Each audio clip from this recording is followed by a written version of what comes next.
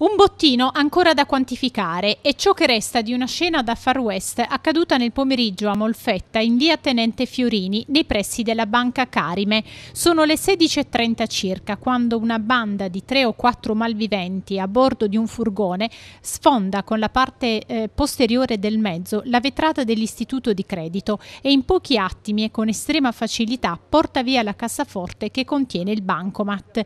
Pochi istanti che permettono nonostante tutto detto ai carabinieri di arrivare sul posto. I malviventi non si fanno intimorire, tirano fuori le armi, si parla di Kalashnikov e sparano.